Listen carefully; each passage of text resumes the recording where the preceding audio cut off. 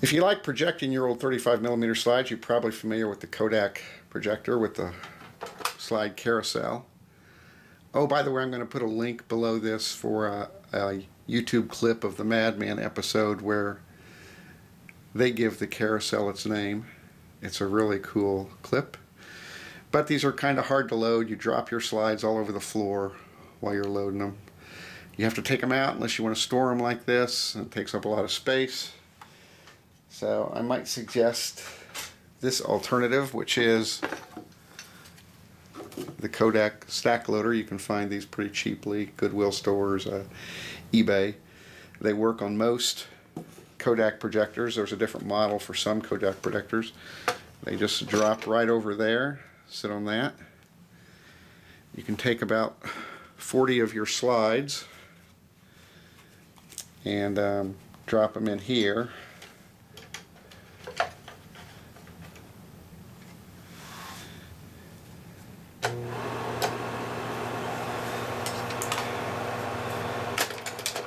And project away. Turn that light off. Let me turn that camera for a minute so we can see what I'm projecting here.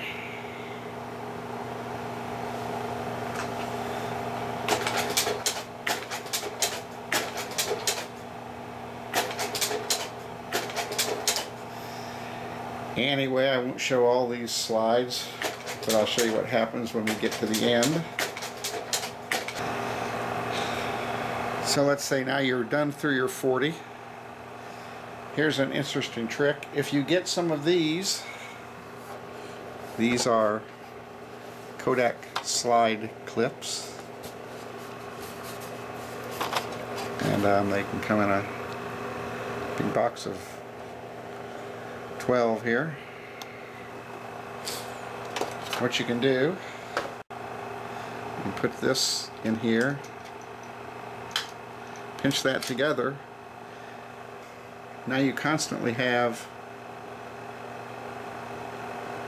a set that you're not going to drop. You want to watch them again?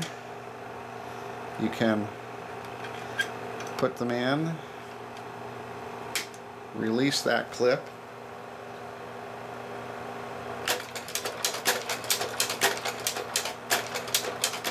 and project them very simply without handling them or dropping them all over the floor.